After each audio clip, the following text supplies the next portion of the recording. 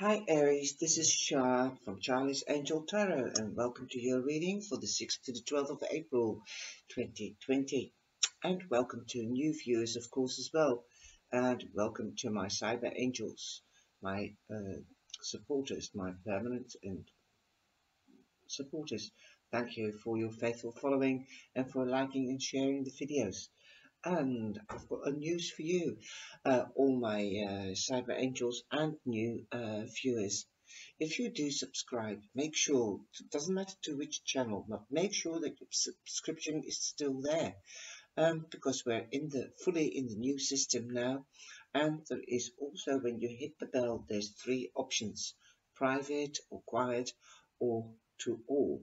So subscribe to all and you'll be notified because I've had news from uh, some of my cyber angels and viewers uh, that uh, they're not getting notified.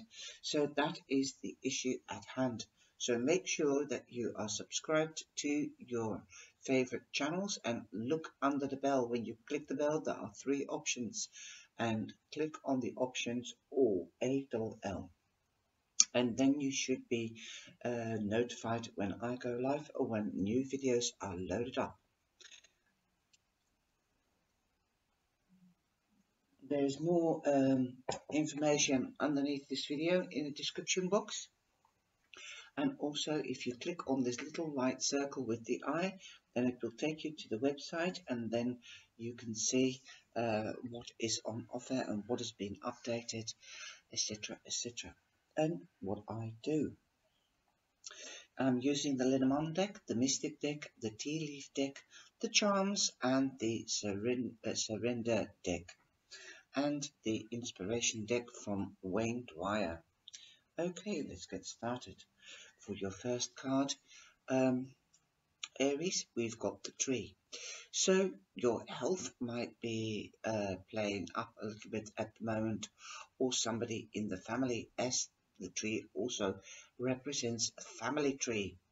You might feel trapped at the moment because this tree is on its own like a lot of other trees. They stand quite far apart from each other. Uh, and they can be in a group, but they do stand apart. So you need space so you can branch out and let them give those branches air and let the wind blow through the branches and uh, blow away the old cobwebs like all those little leaves fluttering away there as you can see hopefully. Um, so go outside if you can and uh, let those old cobwebs blow away. Sit peacefully and serenely uh, somewhere in on your own and meditate or contemplate especially when the sun is shining, when it's a beautiful day. We might be in lockdown, but you can still sit in the garden or on the balcony or open the door um, and let the fresh air in because we are on lockdown. I hope uh, most of you aren't. If not, all of you, and it will be passed by the time you see this it is uh, dreadful uh, what the world has to, uh, what the world's going through and mankind, um, but we have to try and cope with the situation. So be aware of your health and uh, protect yourself as much as possible and take action to do so because we've got the Queen of Wands. So she speaks of action and she's determined. She always gets what she wants or she tries to anyway. This could be a Sagittarius, Aries or a Leo and she's a woman of action and determined. De de determination. She's creative uh, to get um, she she will try to be creative as well. If she can't get what she wants, she'll think of a way to give you a reason why or how. Um, okay, um, if you are not going to meet Queen of Wands, then it could be you. You might be more determined than anything else. No wild horses would drag her away from her ideas or actions. Okay, Aries. Um, uh, if I'm correct, then the Queen of Wands is also Leo. So you might even meet a Leo. Don't exclude the other um, zodiac signs like uh, Aries yourself or Sagittarius. So it could be an Aries that you might be meeting or might be present in your uh, at, could be regarding uh, to um, a Leo's health, you see. You can see the line, so she does represent Leo. But you are in your element because it's a fire sign, so it could be your health, your space, or somebody in your family that is a Leo. So there you go. That's the explanation I have. Now your tea leaf uh, card says take care or there will be a loss of material wealth. So take care.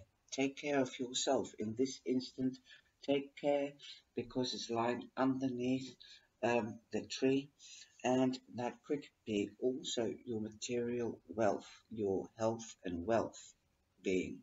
If you are sick, then you can't take care of your uh, material things. So take care. I've got the sign of the masculine here. You can see that. That's the little arrow on the circle. So it might be, um, let's have a look, somebody masculine. Somebody take care or there will be a loss of material wealth. So there could be a man taking your material wealth away or uh, yeah, he can help you with something that is of material wealth. You have five, so you are out of balance at the moment, and it could be because you're stressing out. It could be a man you're worrying about, and I don't know. I'm getting something with a man, although you've got the masculine side. Be more like a man be businesslike, uh, Aries, like a man, uh, steadfast, businesslike, stand your ground. You can do that. You have a strong will. You will prevail. Now, on Wednesday, we have the path. Perhaps it is material wealth, the path to material wealth that is at risk because um, we do have the card take care. Um, if you are, uh, let me put it this way, material wealth could be your job. It could be your job that is at risk or your business. Do you see, Aries, what, uh, how this works? I couldn't get out of the, the, the reading here with the cards, what they meant in the sign, the masculine sign you could be meeting a man, of course, uh, uh, with the masculine uh, sign, and it could be a masculine man or a man that could cause a threat for you to lose your material wealth. But coming to Wednesday in the whole reading, the energy can flow throughout the whole week, but also on the days that I'm naming. But remember, time is man-made. The path you're choosing, you've got a choice here to choose which path are you going to take. Are you going to work from home? Are you going to stop uh, work or are you going to start business? So there you go. You know what it resonates with. You've got an angel number here, 22. So that means that the angels are with you. And uh, 22 becomes a 4. 2 and 2 is 4. So there is the question about stability here.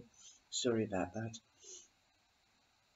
So there again, you've got the Ace of Wands.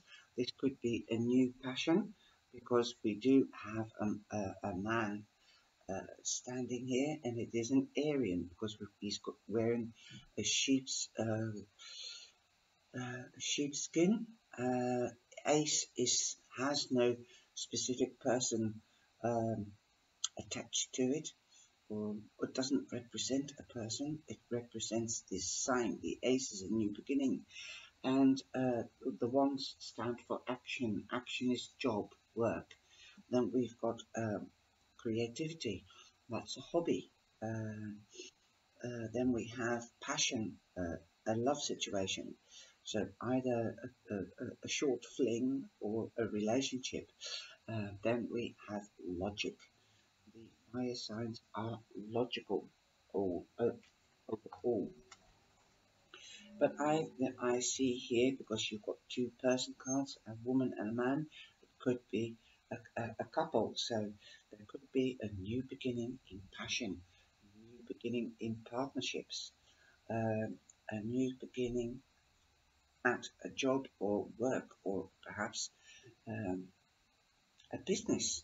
Perhaps you are starting a business. You've got the world in your hand See how beautiful that ace is. There you go. He's holding the world in one hand. So perhaps you are choosing, you are cho making a choice on Wednesday about perhaps about this new beginning. Perhaps uh, your your health deteriorated uh, because um, not because of, uh, of the virus what is going around at the moment, but uh, your boss was a man and he was being uh, horrible, as sharp as a shark. He was always on the hunt and he was doing you your brain in, as they say in England. He was doing your head in. He was uh, always hunting and on your back and that wore you down and that was no good for your health or gave you headaches. Never mind, you're taking care of your material wealth uh, and your health. That's why I said health and wealth. Well, look at this. Have faith because you've got the cross here. But have faith. The cross. That is faith and trust yourself as others have trust in you and others believe you and have faith in you to get things done. Okay, you don't, you'll have a different cross to bear. That is what I'm hearing as well. You'll have a different cross to bear uh, after you've made that choice and you've got the horseshoe and that means good luck. Awesome. I'm sorry I sound very mm, or very uh, bass like voice. I hear it myself. I've got a sore throat. So, uh, yes, I've been speaking too much. So I'm sorry about that. And you've got the bunch of flowers. So this, this decision that you're doing is giving you a good base, a four. That's an angel job. The angels, uh, uh, um number, the angels are with you. You've got a nine and and the nine means an ending, a new beginning. Definitely new beginnings. And it's lying, it, the flowers means you're going to get a gift or you're going to have luck. Somebody could give, bring you a gift and also there is luck. Well, you this is a very lucky week for you, Aries, because you've got the horseshoe, you've got the bunch of flowers, and you've got the Ten of Cups. So emotional fulfillment. This could be partnering up, like I said, because you've got the woman and the man here in business or in love. If it's a passion then, and you want this passion to last, then make sure, sure that you know their boundaries and your boundaries.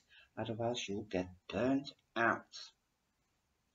So, if you want a lasting, loving relationship, know what your boundaries are and what their boundaries are. Here, you, this in this deck, they are holding hands. Okay, emotional fulfillment, an end of negativity, and a back to positivity. And you have the woman's sign here. So a nurturing na uh, nature this uh, you'll be more nurturing this week or you might be meeting a lady like I said so the woman could be a fire sign and that could be a Leo uh, as she the queen of wands represents Leo or you have the masculine sign and that can be um, the um, king, uh, the king of wands is uh, Aries. That could be yourself, uh, but there is a, a possibility of a couple. Now the tea leaf card is the funnel, a period of frustrations, lessons to be learned, learn from the last and funnel it. So on Friday, you uh, might be meeting a lady and uh, this uh, lady could be a sign, she could give you a warning, a period of frustrations. You might have a frustration with another uh, female and learn from the past. That is what I'm hearing. Uh, lessons to be learned. But I'm getting to hear learn from the past. This could be um, a woman that could be jealous um, of you with the luck that you are having this week. Or heed advice from this woman um, so that the period of frustrations uh, will be short. She's, she might, uh, this is the advice that I'm giving, and I'm a woman, but I'm not a fire sign. So I'm telling you, learn from the past, funnel, sift the information that you get, especially from this reading. Take it, uh, take what you can from this reading. If it doesn't resonate with you, then have a look at your moon sign or your rising sign. Now, so you're going from a 9 to a 10. Boom, you're doing well. So to maintain the emotional happiness, uh, there could be an extension in the family. There, there, there could be something uh, happening, celebrations, reunions, and it could be with a woman. Okay, could be with your mother, could be with your sister. Anyway, you for Saturday and Sunday, you have the ring. So I was talking at the beginning, uh, partnerships. This could be um, in love or uh, in work. Uh, I think this is more related to uh, career, um, as we have been talking about career, and especially in this environment uh, at the moment um, that we cannot go outside and mingle with others. So I think it's more career orientated that you're partnering up and you have to take care of your material wealth in that partnership. Uh, you've got 25, 7, that becomes 7, so luck is on your side big time. But I've got a feeling there's somebody jealous. Then you have the Four of Pentacles hold you are holding on to what you believe is yours and that is you you might have even closed off your heart so you know you know what it resonates to and um, uh, what you uh, what the warning is uh, i would say don't close off your heart or if you've closed off your heart open up your heart because there are beautiful things to be had yeah, partnerships, joining forces, together you stand strong. So learn from that. And I said, learn from the past. And you've got the Four of Pentacles, so open up that solar plex. You've closed it off. Look again. This man is holding pentacles in front of his chest, his heart and his solar plex. So open your heart, let love in. Form this partnership if you would like because you've got the ring, you've got the Ten of Cups, and they've joined hands in this deck. So love is there, good luck is there. Um, that is also material wealth because something that you can touch, you can touch each other. What you cannot touch is the spiritual side, the word love. You have to learn to express it by opening your heart. Okay? Wow, this is turning out much and much better than I ever expected.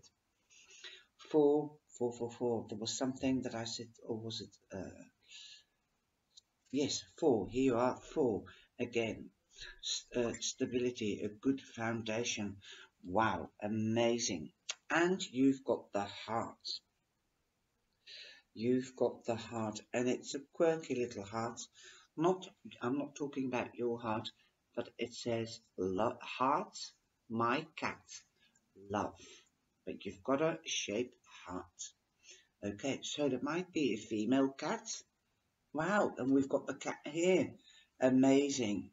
So your cat might be uh, a fire sign if it's born in August. It will be a Leo and a little footprint.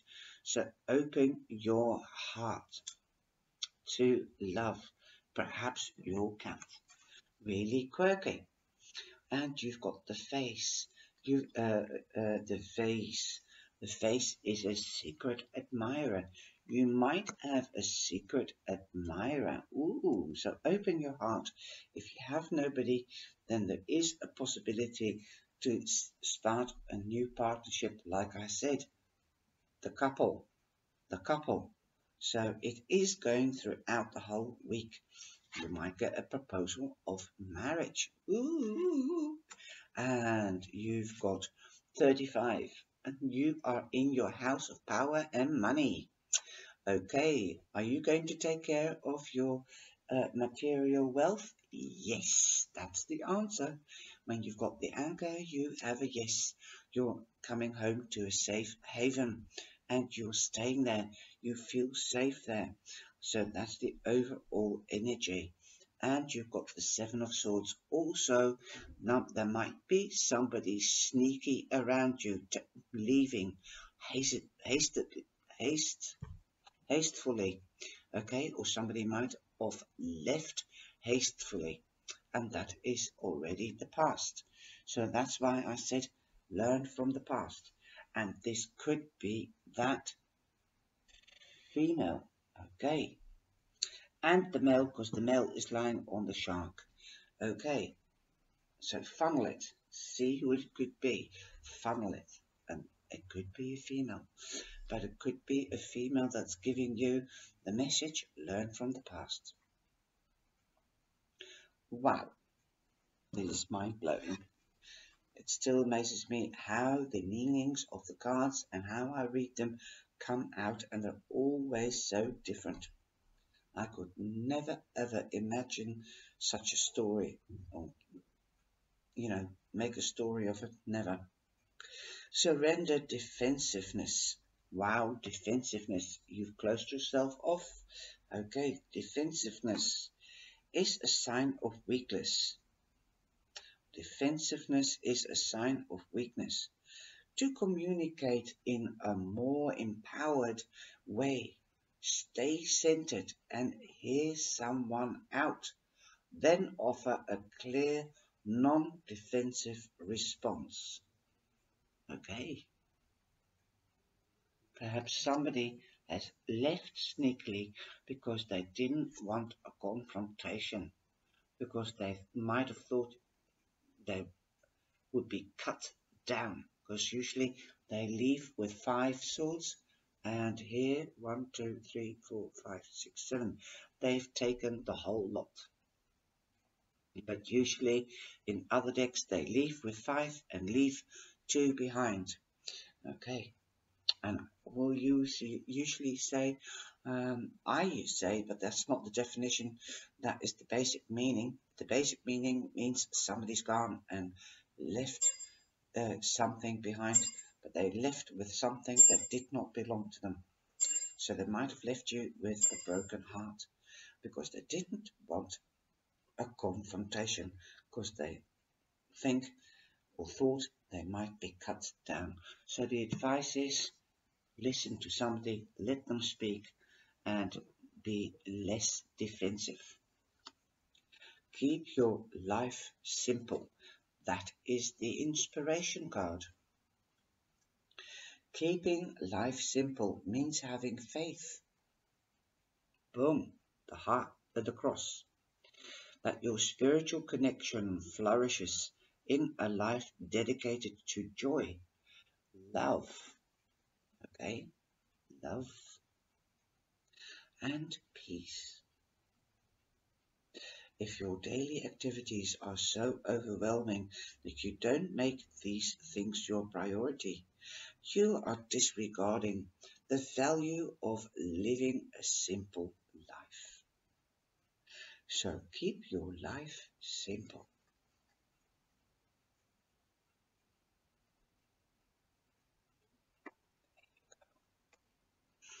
There you go, Aries. I hope you've enjoyed this reading. I wish you a beautiful week ahead and please share and like this video with family and friends and give us the thumbs up and I'll see you in the live. I go live Monday, Wednesday and Friday. Have a beautiful week. and Take care, stay safe and be blessed.